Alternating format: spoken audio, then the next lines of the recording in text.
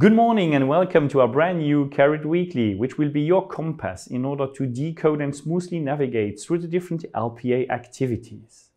This short format is meant to give you a clear, crisp and meaningful overview of our latest webinars, events, with some best of extracts and straightforward quotes. This executive summary will also highlight some of our upcoming events and projects. Without further ado, I would like to invite you to have a look at last week's events, including the Luxembourg PVC stories with Stephanie Delperdange from Sofina, who has a very interesting view on how P jobs could be handled in Luxembourg.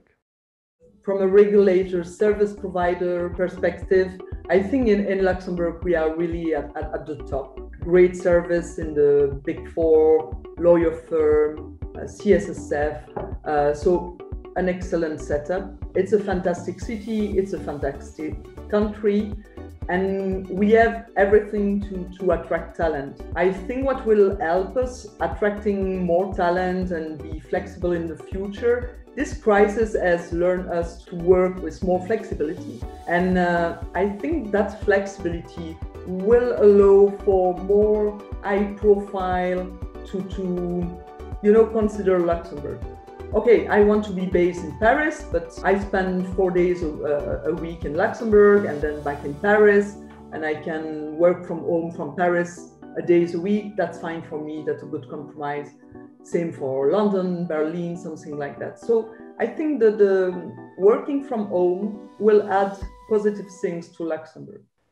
Evie, the Summer Training Academy is starting soon. What can you tell us about it? Yes, sure. Thank you, Stéphane. The next edition of the LPEA Academy with a new combination of modules starts on the 14th of June, a dedicated private equity training made in Luxembourg. So be part of the community, learn from the best, register now. For more information, please visit our website.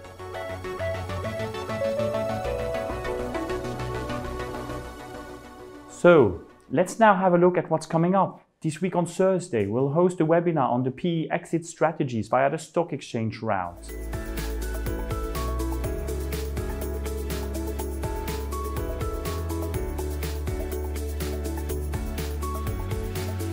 And would like to remind you that the LPEA AGM will be held on June 8.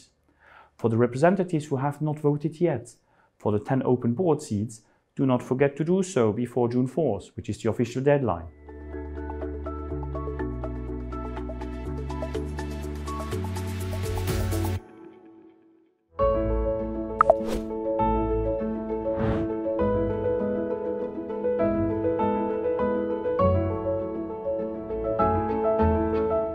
Goodbye and see you next week again.